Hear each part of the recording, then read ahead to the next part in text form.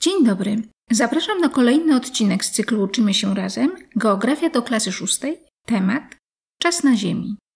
Historyczne pomiary czasu. Pomiar czasu jest jedną z kluczowych umiejętności obecnie niezbędną w życiu człowieka. W każdym miejscu na Ziemi czas rzeczywisty jest inny, choć wydarzenia mają miejsce w tym samym momencie. Te różnice czasu są efektem ruchu obrotowego naszej planety. Pierwotne pomiary czasu wobec braku odpowiednich umiejętności technicznych oparte były na obserwacji przyrody. Rytm dobowy wyznaczały wschody i zachody słońca, a rytm letni pory roku. Z czasem wyznaczono także rytm miesięczny na podstawie faz księżyca. Współczesny podział jednostek czasu wywodzi się ze starożytnej Babilonii. To właśnie tam dokonano podziału godziny na 60 minut o jednakowej długości.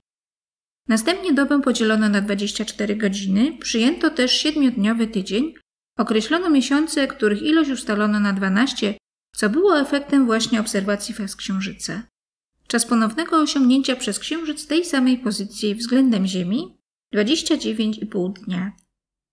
Czas słoneczny to czas mierzony pozornym ruchem Słońca, nazywany jest także czasem miejscowym lub lokalnym. Istnieją dwa rodzaje czasu słonecznego prawdziwy i średni. Prawdziwy czas słoneczny definiowany jest jako kąt godzinny Słońca powiększony o 12 godzin.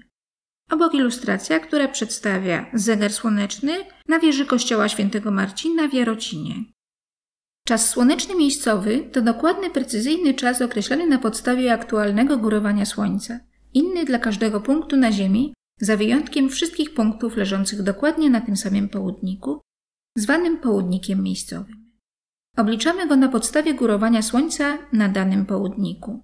Jako średnią dobę słoneczną określa się średni czas między kolejnymi górowaniami Słońca. Czas ten dzieli się na 24 godziny. Co jeden stopień długości geograficznej miejscowy czas słoneczny zmienia się o 4 minuty. Daje to możliwość obliczenia czasu miejscowego w danym miejscu, jeżeli znamy długość geograficzną i lokalny czas słoneczny w innym miejscu. Skoro wiemy, że każdy punkt na Ziemi wykonuje pełny obrót, czyli 360 stopni w ciągu 24 godzin, to możemy określić różnicę czasu słonecznego między punktami położonymi na różnych południkach. Różnica czasu między punktami leżącymi na południkach odległych np. o 180 stopni wynosi 12 godzin, a o 1 stopień 4 minuty.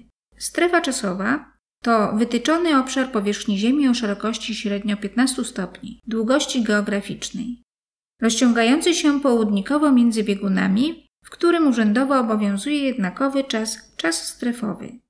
Czas strefowy przeważnie jest średnim czasem słonecznym środkowego południka tej strefy. Granicami stref są południki. W całej strefie obowiązuje ta sama godzina. Czas między sąsiadującymi ze sobą strefami różni się o godzinę. Zerowa strefa to obszar położony pomiędzy południkami 7 stopni 30 minut długości geograficznej zachodniej a 7 stopni 30 minut długości geograficznej wschodniej. U góry tabela przedstawiająca czas odpowiadający podanej ilości stopni.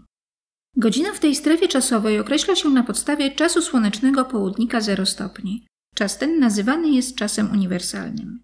Czas urzędowy. Czasem miejscowym słonecznym posługiwano się do XIX wieku.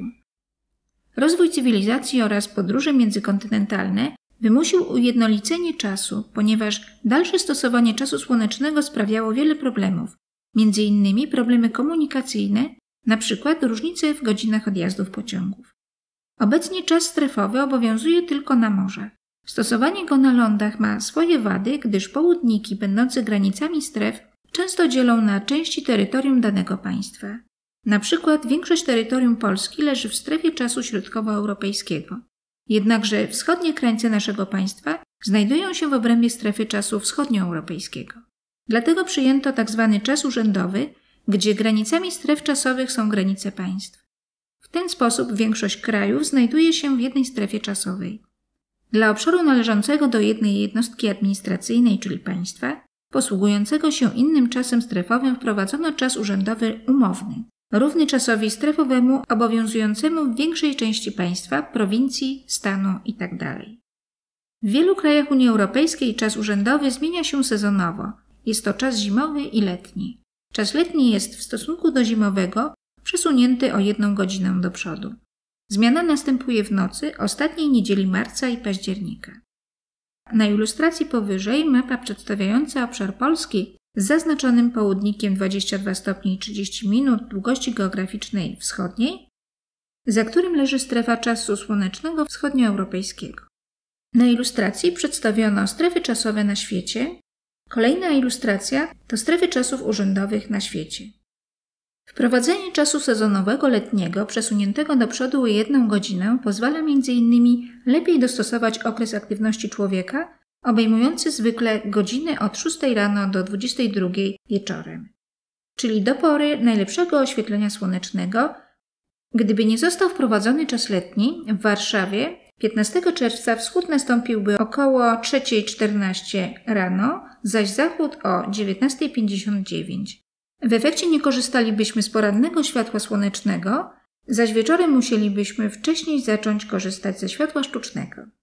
Wpłynęłoby to na zwiększenie zużycia energii elektrycznej w domu, na ulicy i w zakładach pracy. W 2019 roku zapadła decyzja o likwidacji czasu sezonowego w krajach Unii Europejskiej. Zmiana miała zostać wprowadzona w 2021 roku. Wprowadzenie czasu urzędowego nie rozstrzygnęło jeszcze jednego problemu. W obliczeniach nie sposób pominąć daty, a jeżeli na Ziemi są 24 strefy czasowe, różniące się o godzinę, to różne miejsca mogą mieć różną datę. W związku z tym ustalono międzynarodową linię zmiany daty.